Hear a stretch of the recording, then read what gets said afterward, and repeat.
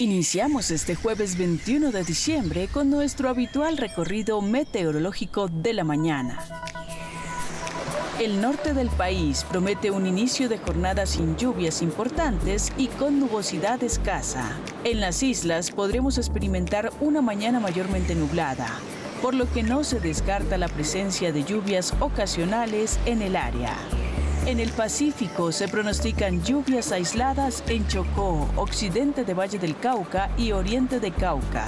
Las montañas de la región andina podrían experimentar lluvias de diversa intensidad en Huila, Tolima, oriente de Antioquia, occidente de Santander, norte de norte de Santander y Cundinamarca. Todo parece indicar que en los llanos la mañana llegaría con pocas lluvias. La excepción se espera en Meta, donde son posibles las precipitaciones menores. La actividad lluviosa del sur del país se concentraría en Amazonas, sur de Baupés, Caquetá y occidente de Putumayo.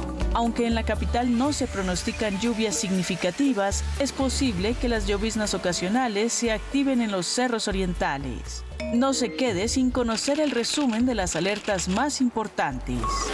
En el departamento de Nariño se emite alerta roja por el desbordamiento del río Magui, afectando a los barrios ribereños del municipio de Magui, Payán. Máxima alerta por probabilidad de incendios en la región Caribe. Atención a los posibles deslizamientos en el Pacífico, los Andes, Meta, Casanare y Putumayo.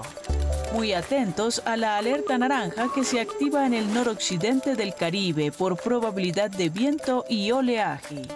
Síguenos en nuestras redes sociales. Nuestro compromiso es con el medio ambiente. IDEAM es confianza y prevención.